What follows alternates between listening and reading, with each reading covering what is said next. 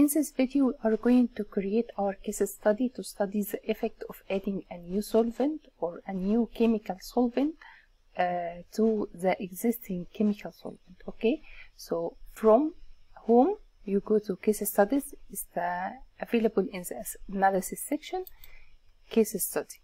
And we are going to add one case study. This is our case study. We have independent variable and dependent variable. For the independent variable here, we are going to add or to choose the surge tank outlet concentration. Okay, so we are going here, you are going to look for the surge tank or this is the, our makeup.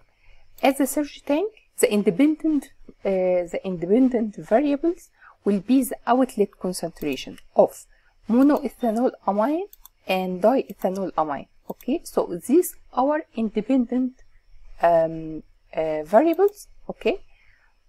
These values has a current value of 20 and 0 for the dependent variables okay we are going to search for the absorber here. We are going to search for the absorber absorber. And from the absorber after checking it you will have a lot of options. Here we are going to look at the sweet gas our sweet gas concentration of H2S okay H2S this is by ppm and also the, the sweet gas carbon dioxide concentration so CO2 concentration by mole percent okay? And here we press ok. So what we are studying here our dependent variables is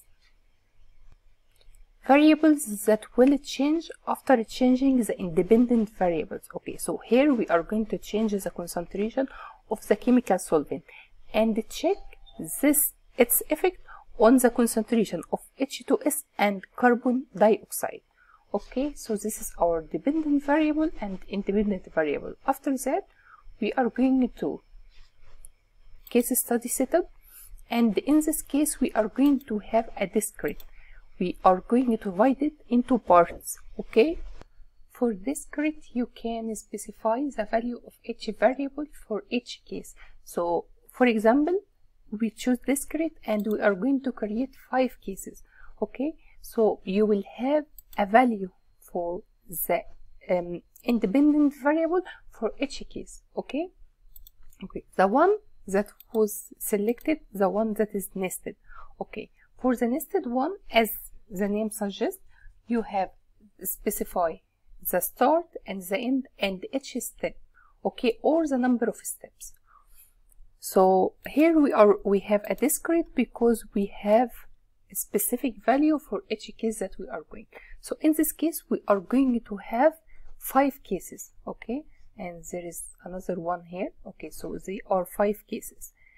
And for each case we will have a concentration for um, the surge tank outlet MEA and M MDEA and MEA okay for the first one we have a starting value or a current value of 20 okay so maybe you are going to uh, to add 20 15 10 5 and finally 0 okay so you don't have any concentration. Here we start from 0 so 5 10 15 and 20 okay so we will end up it, it changing the concentration of them. Okay so now we have all the values we can run. Okay. After running you will find that there are a lot of calculations here. You can check the results from this one. This we are having our case one the concentration of DEA is 20 and the concentration of ME is 0 and the concentration of H2S by ppm is 0.5 and the for carbon dioxide mole percent is 1.4 now we are going to see what will happen in case 2 during the exam it's important to know that the case study takes some time for the calculation okay so you need to be patient until the five cases or whatever the number of cases that you are going to, are going to have are finished.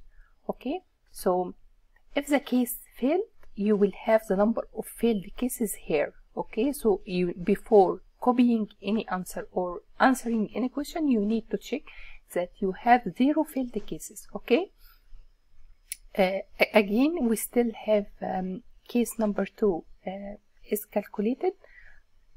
Um, okay let's talk more about the case study. Here we have added the independent variables and here the values is changing. Okay because now it's calculating for 15 and 5 this is our setup that we chose we chose it discrete because it allow you to specify the values for each case and the, the default for the case study is having it nested because you have examined every possible combination of variable available. Okay if we go now uh, to results again we didn't have our results printed yet. For the rest of cases i'll pause and show you the answers but i just want to give you how uh, the feeling of how long it takes. Okay now for case number two if we have a 15 percent of DEA and the concentration increase of MEE, we will find out the concentration of H2S increase.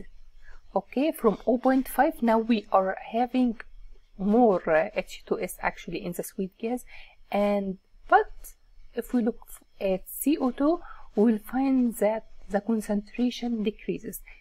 Uh, this is it could be explained because as I mentioned before MEA is more selective this one the one we are increasing the concentration of is more selective for carbon dioxide that's why carbon dioxide concentration increases but the one that is selective for H2S is MEDA and in this case we decreases its concentration that's why the concentration of H2S increases. Uh, I'm going now to uh, pause the video until the five cases are printed and I'll get back. Now the five cases are finished and with the number of failed cases zero. So here you can show the succeeded and also the failed. Okay, in this case is uh, no fail. So all this is our case. You can plot the results. Here this is the section for the plot. Okay, this is your x-axis and y-axis. For the results here, you will be asked about the concentration of H2S and the carbon dioxide. For carbon dioxide, the concentration kept decreasing, okay? So it's good to add a mix of MEA to um, the, um, the mix of DEA in terms of carbon dioxide. But for H2S, the concentration at the beginning increased, then decreased, then again increase two times, okay? So it's not a good idea to remove MDEA or um, the DEA amine because it it will affect the H2S concentration. For ppm is higher than the pipeline specs, so this one will be a, a problem. Okay, this is for the case study. Okay.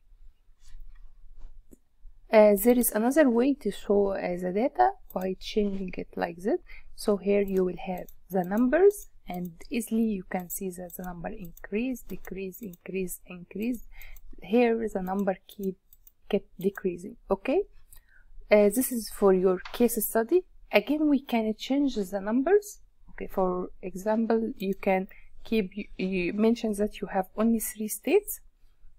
And for the three states it's from 20 to 17 and uh, 10 okay and for this one we are going to increase it 3 and here we have 5 and we can run this case okay?